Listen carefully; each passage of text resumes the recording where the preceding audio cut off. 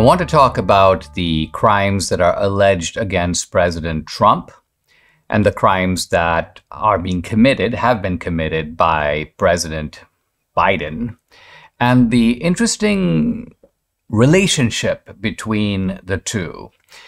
Now, I just saw this morning that Representative Comer has disclosed that the Biden family has received $20 million plus in bribery payments from various entities.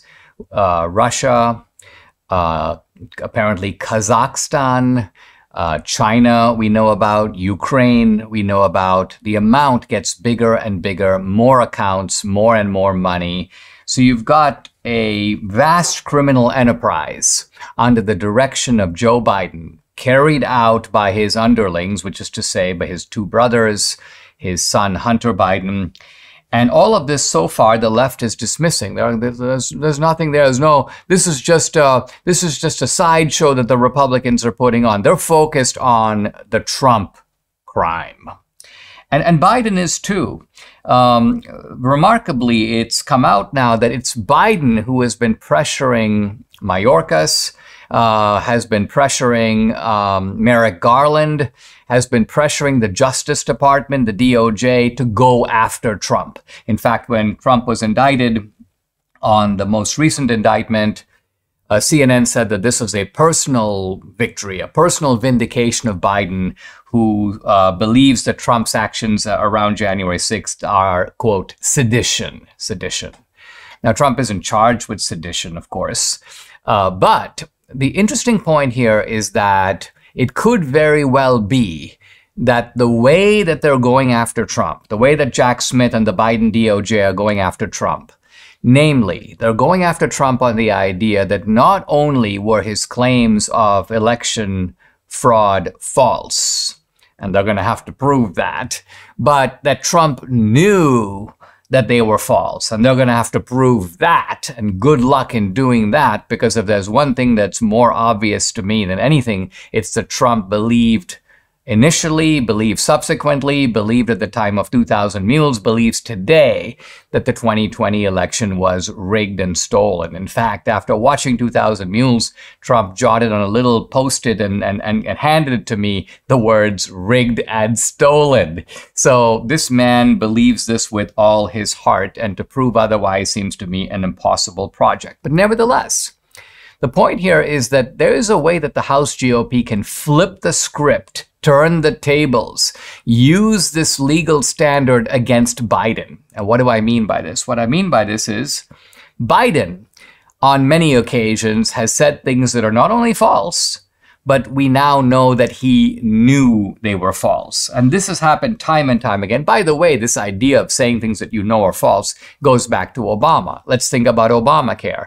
If you want your doctor, you can keep your doctor. Now, Obama is the guy who supervised the drafting of the legislation. He knew that that was false. So not only was the statement false, Obama was aware at the time that he said it. It's a knowing lie by Obama. So has Obama committed a crime? Well, I would say no. Obama's a liar and he's a he's the great deceiver, as I sometimes call him. But that's not breaking the law. But Jack Smith says it is. Jack Smith says of Trump, and you just have to read the indictment, and nothing could be more clear. Now, there are people on the left saying, well, the indictment isn't getting Trump for his spe- free speech. It's not even getting him for knowingly lying. It's getting him for, for uh, conspiracy to commit crimes. Well, it is true that there are conspiracies to commit crimes, but then you've got to spell out what the standalone crime is. Let's say there's a standalone crime of, say, embezzlement or a standalone crime of bribery. Then you can't say I have a free speech defense because I quote, promise to pay you money if you give me this uh, in return, and I just spoke it, so it's free speech. No, because the free speech itself is not the crime. The crime is the bribery. The crime is the embezzlement. So in this case, what is the crime? What is the crime outside of Trump's free speech? And the answer is there is none. There is no standalone crime.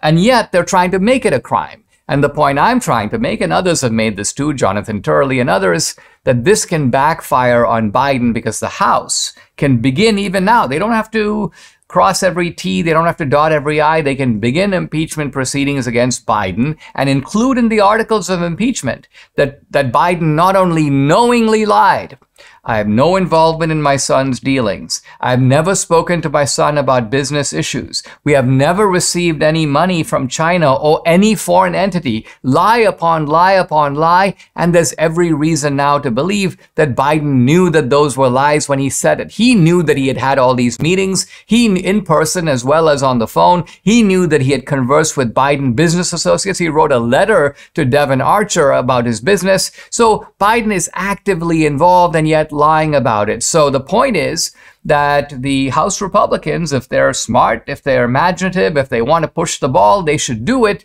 Grab a hold of the Jack Smith standard, which is knowingly spreading falsehoods include those in articles of impeachment against Biden and turn Biden's own standard against him.